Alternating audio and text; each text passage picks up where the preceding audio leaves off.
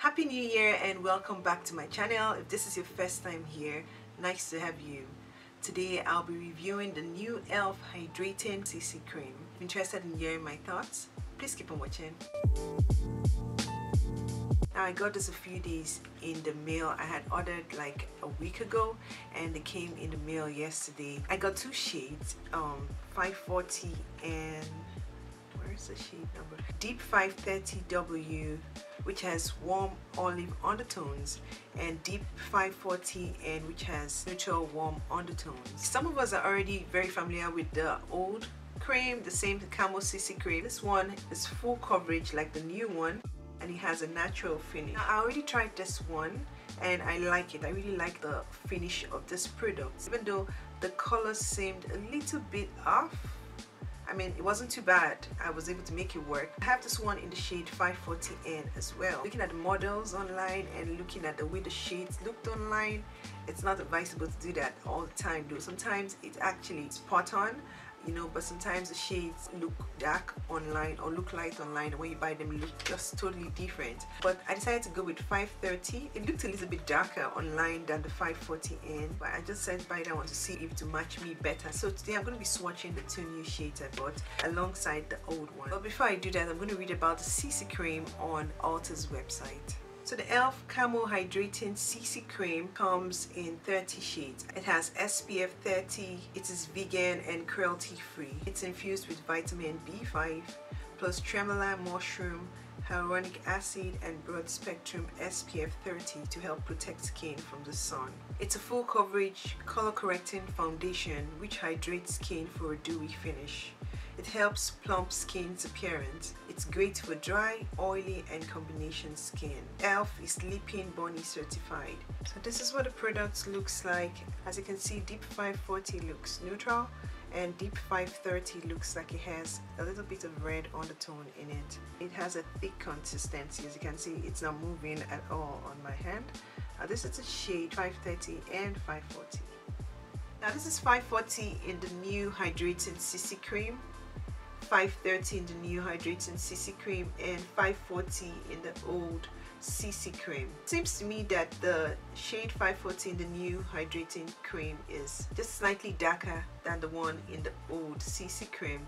The undertones are spot on, they're the same undertones, neutral, but this one seems like it's a little bit lighter than this one. Now this one obviously has a red undertone as you can see, so there's no use even trying this one out. instructions for how to use. Prep skin with e.l.f.'s Power Grip Primer or your favorite e.l.f. primer. Apply 1 to 2 pumps of the CC cream to clean skin using the Complexion dual Brush. Wear as a moisturizer or full coverage foundation depending on your needs. I'm going to apply the e.l.f. Power Grip Primer with 4% niacinamide.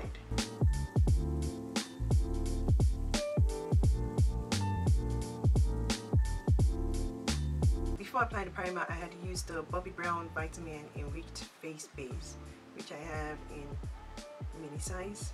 I use this as my moisturizer. Now I'll go ahead and apply the CC cream in the shade Deep 540N. That was one pump. Let me just start with a little so I'll take some more off.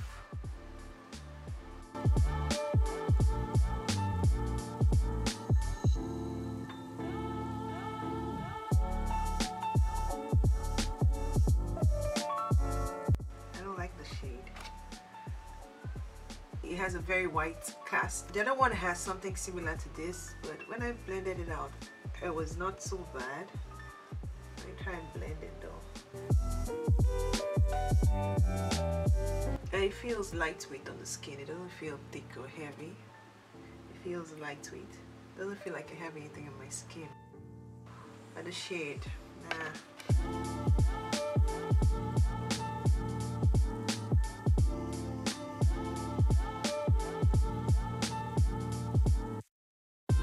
Now don't forget this one also has SPF 30 some people attribute the white cast in certain CC creams to the SPF content or ingredient it doesn't have a smell. No no smell whatsoever. Okay I think I should try the other shade on my on one side. Now this has some good coverage but I can also see my hyperpigmented area here. It did make a good effort in covering it. So guys this is the CC cream on the side of my face and here I do have it's not that the shade is too light for me it's just that that there's something in it that's making it look off. So I'm going to go ahead and apply the other shade. I didn't want to use that shade but I want to see whether it's going to do the same thing or it's going to look better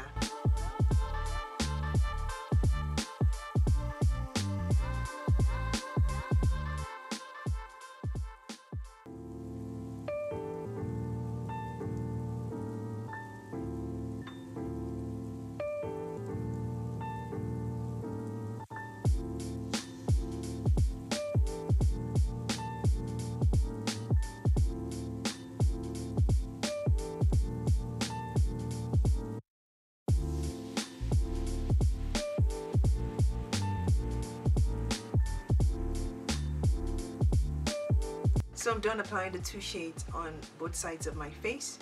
This is the shade 540N and the shade 530W. I like the shade 530W better than 540N. I thought I was gonna like 540N better, but I think it's looking very ashy. 530 doesn't, it does have that um, ashy grayish tint but it's not as much as it is in 540 but the application was smooth. It wasn't hard to apply at all. The foundation doesn't feel heavy. Even though it is thick feels very light on the skin. It has no smell as well. No obvious smell. And it applied easily. The coverage is full. It is indeed full. And it does have a natural finish. I use just one one pump for both sides of my face. So that's like basically a medium medium coverage I got. So it still looks like I have a natural finish product on. It feels hydrating I have a dewy glowy look on my face. Another elf product that I just launched is the elf camo liquid blush. I got one shade. This color is coming in hot pink which is why I have one. Pink eyeshadow to go with the blush. So this is what it looks like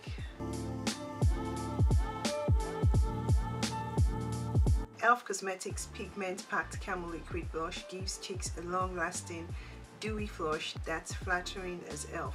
This liquid blush is lightweight and effortlessly blends out to a soft finish while the rounded groove applicator applies the perfect amount of blush every time. Dab 1 to 2 dots onto cheeks with the applicator and blend with the e.l.f. liquid brush. So this is what it looks like and this is the applicator. Uh, whew, beautiful pigment.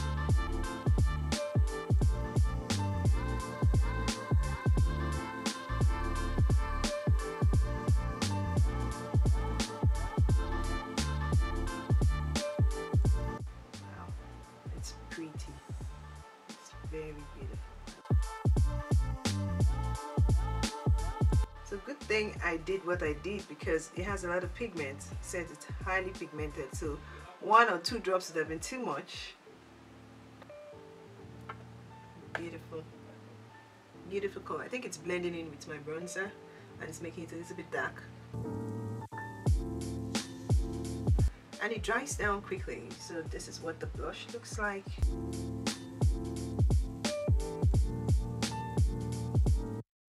Guys, this is my final look with the e.l.f. Hydrating CC Cream and the rest of my complexion products. For concealer, I used the e.l.f. 16 Hour Camo Concealer in matte finish. This is in the shade Deep Chestnut. For on the eye setting powder, I used my Anastasia Beverly Hills Loose Setting Powder in the shade Deep Peach. For all the face powder, I used my Fenty Beauty Setting Powder in the shade Nutmeg. Then for bronzer, I used the Benefit Hoola Bronzer in the shade Toasted. For highlighter, I used the Laura Mercier Face Illuminator in the shade Inspiration. And I used that in the inner corner of my eye as well.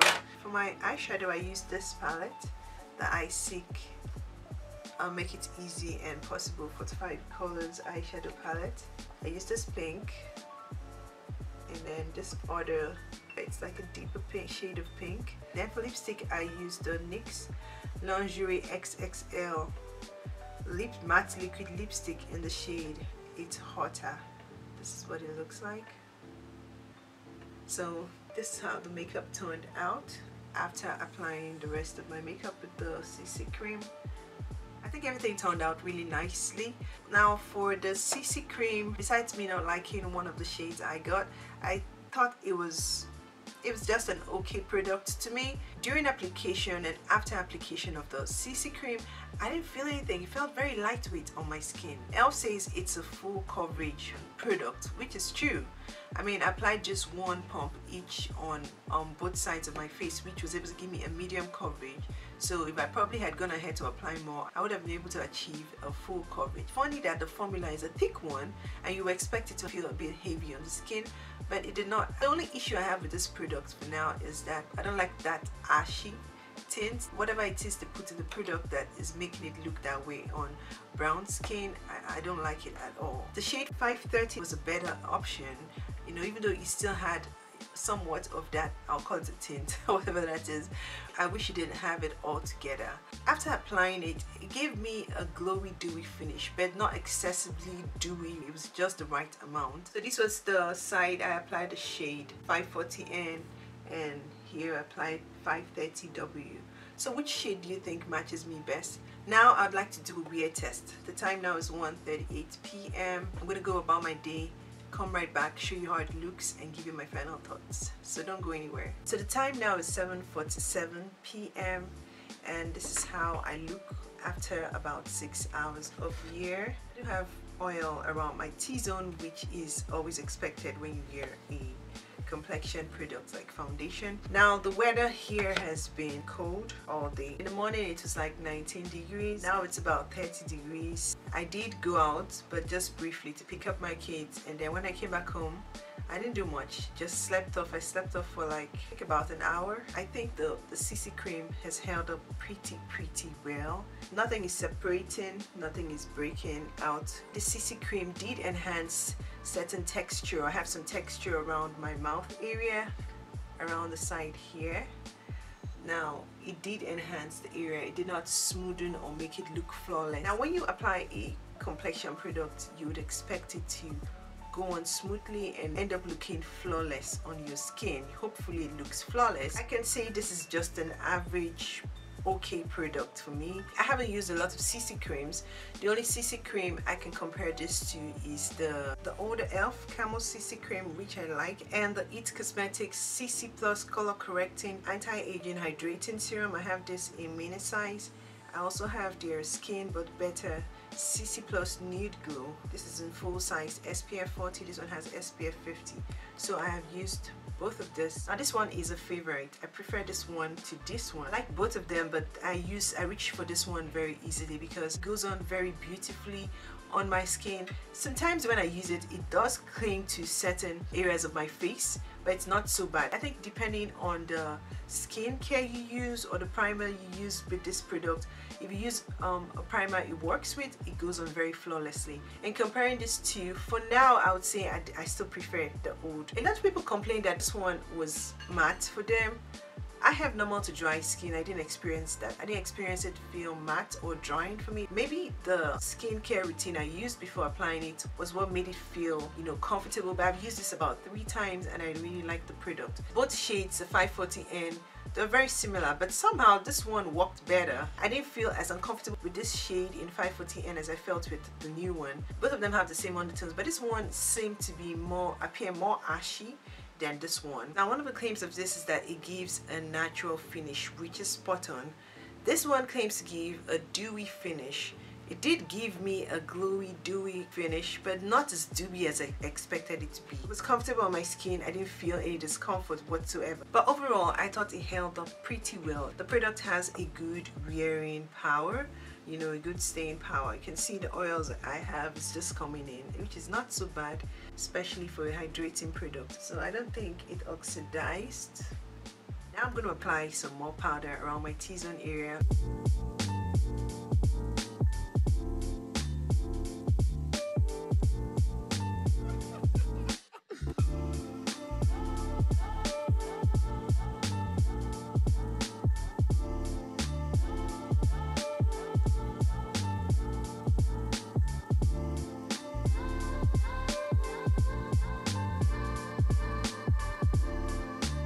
so this is how it looks after applying some powder to it. Now the blush also has good stain power as you can see. I haven't I haven't retouched the blush. It's still you know looking really good and I really like it. I'm gonna try this again. I might like it uh, but for now I'm still on the fence. But do I recommend the product? I do recommend it for its skin loving ingredients and skin caring benefits. So this is where I end my video for today. If you have any questions please leave them in the comment section. If this is your first time on my channel I hope you found my video informative. Please don't forget to subscribe to my returning subscribers. Thank you guys for coming back. Don't forget to like and leave a comment as well. Until my next video have a blessed night and stay safe